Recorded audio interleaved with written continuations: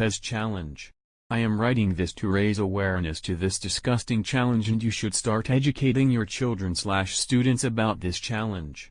The challenge The challenge itself starts when you get a email from trollerthefox124 at gmail.com asking to play a game. The link in the email will track your location if you click on it.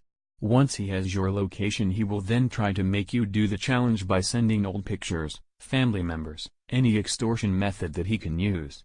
He will then send you a list of challenges to complete to start, the list goes, Day 1, carve the troll face into your wrists, Day 2, make you eat your own human feces in a Discord call, Day 3, you will receive a text showing a photo of you asleep, Day 4, forced to twerk in a Discord call, Day 5, walking to your work slash education place and hit your head teacher slash boss, Day 6, cut Fago into your chest, Day 7, you must slap any female's bottom that is in your household. Day 8, you must drink 30 bottles of Fagos without stopping. Failing to complete this will involve your parents getting photos of you nude. Day 9, you will get a text message of a location you need to go on the 10th day, that is your death location. Day 10, kill yourself by jumping from the top.